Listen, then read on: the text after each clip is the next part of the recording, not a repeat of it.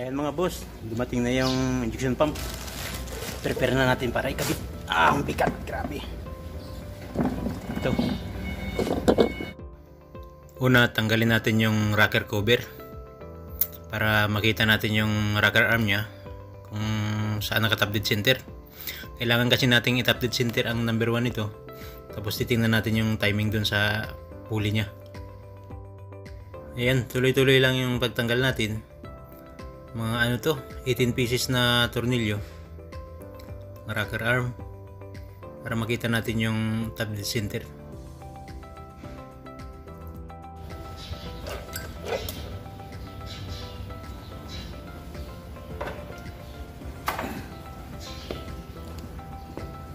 Ayan tingnan natin kung naka TDC ang number 1 kasi pag tiniming natin doon maaring ito ang naka TDC o ito kung tiniming natin sa pulley. Kaya ayan ikot.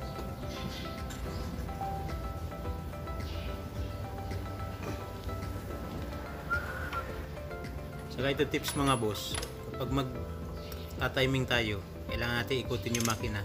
Mas maganda kung wag wala munang injector o kaya glow plug. Mas malambot siyang ikutin kasi kung may glow plug na isa saka may injector mayroon na siyang compression. Mahirap na siyang ikutin matigas nang ikutin siya. Ayan mga boss. Na-timing na natin yung marking niyang injection pump niya. Nasa pangatlo siya. Galing sa baba na guhit nasa pangatlo yung nakatapat. Dito naman sa pinakadulong taas yan yung top dead center. Ka TDC kaya galing sa baba pangatlong guhit. Galing dito sa ano sa pinakadulo pang-apat na guhit. Yan yun yung base dun sa pagbaklas ko. Pabago ko bago ko binaklas yung injection pump. Tininan ko muna yung timing yung nakatapat ang timing ng injection pump dun sa marking niya. Tapos tininan ko rin dito kung saan siya nakatapat. At doon ko siya tinandaan. Ayan. Tandaan ko pangatlo siya galing sa baba. Ibig sabihin siguro ito mga 30 20 10 degrees before TDC siguro ito. Para magbuga ng diesel ang injection pump, injection pump sa piston.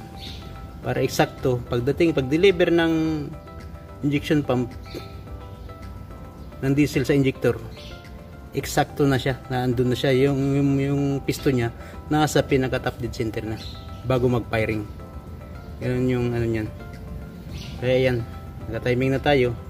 I-check natin dito sa top center number 1 kung naka-top dead center yung number 1 natin. Oh, sakto. Kasi maaari kasing magtapat dito.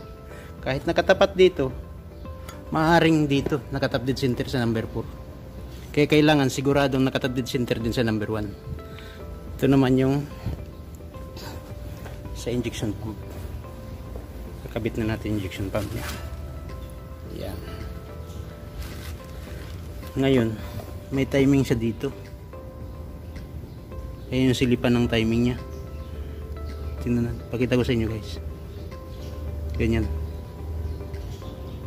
Ayan ayan ayan. Ayan yung timing ng injection, pump. Naka timing tayo dun sa pulley. Tapos dapat pagpasok nito nakaganyan din. Na ganyan eh wala na ilaw. Na ganyan din yung posisyon ng ano niya.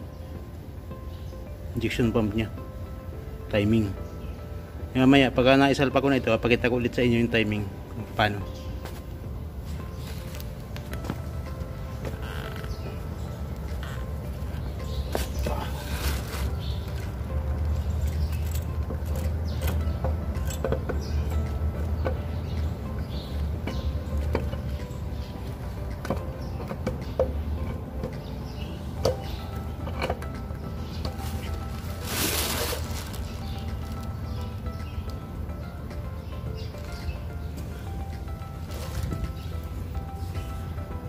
Ngayon, pag sinasalpak siya, namamala sa timing kasi umiikot yung gear eh. Kaya sisikwatan natin dadaan. Yung gear niya sa loob, sisikwatin natin dandahan.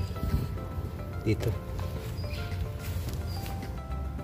Ayan na siya mga boss. Ayan na siya oh. Yung timing niya. Labo. Ayan. May gatla siya. Nakatapat naman doon sa parang araw. Tapos tayo. Naka 10 degrees before TDC tayo. Dito. Sa puli. Nakatabdid center ang number 1 natin. Ganun lang mag-timing ng injection pump. Uh, magkabit. Ka-timing. Ayan. Higpitan na natin yun. Higpitan na natin yung injection pump. Kung mapansin nyo, hindi masyadong tapat. Hindi tapat na tapat pero nakaangat pa tayo dito eh. Pag dumikit ito, iikot pa ng bagya yung gear. Magsa magsasakto siya.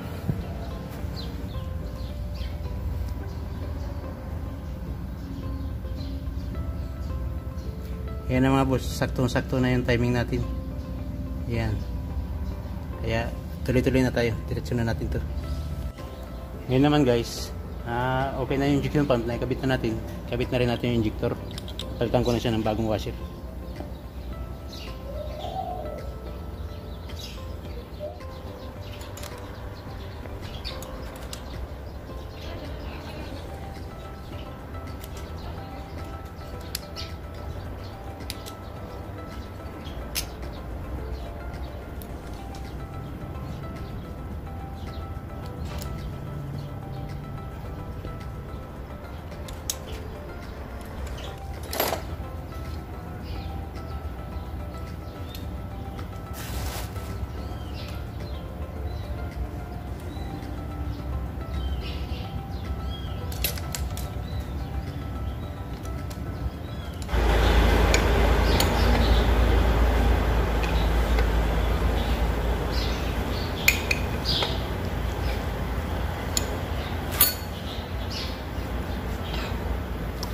Ayan mga boss, nakabit ko na yung high pressure pipe, fuel high pressure pipe. Nahigpitan ko na rito. Pero dun sa ibabaw sa injector, hindi ko muna hinigpitan mabuti. Kasi pag bleeding natin, bubuksan din naman natin yan. Kaya yan. Kunti na lang.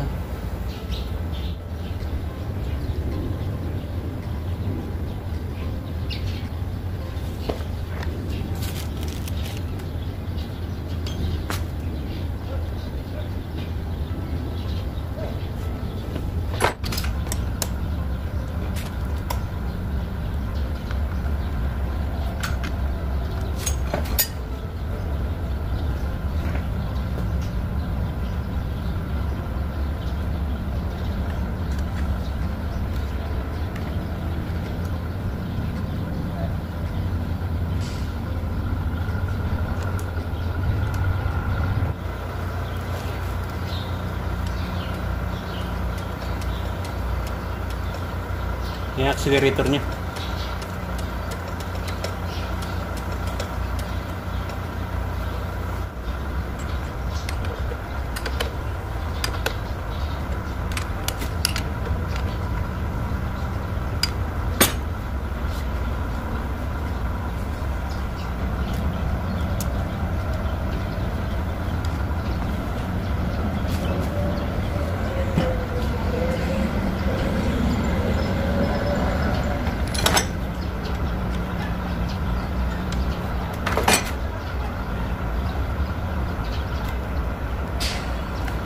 Ayos na, tapos na. Hintay na lang tayo na ma-set up para maikabit na ito doon sa truck niya. Kaya pahinga nga tayo.